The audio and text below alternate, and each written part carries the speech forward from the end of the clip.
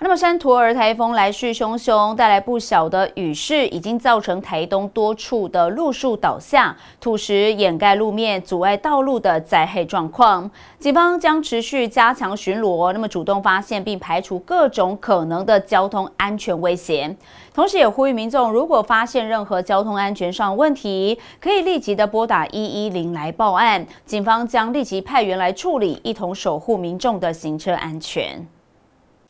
山图尔台风行动龟速缓慢，虽然已经从强台转为中台，但是带来的雨量不容小觑，已经造成台东中谷地区台九线、台二十甲线以及一九七线道多处的路树倒下、土石掩盖路面、阻碍交通道路的灾害状况。而远景获报后也立即赶往现场来管制，并通报公务段至现场来清理，迅速将路树、泥石来清除，恢复双向通行。另外，在台十一线上，台东县警察局成功分局多兰派出所所长张旭志以及警员林龙杰，在执行勤务巡逻时，发现一棵芭蕉树因为强风吹断，倒卧在慢车道上，严重的影响到用路人的安全。而所长立即通知所内备勤警员携带锯子来赶往现场来支援，及时的排除道路障碍。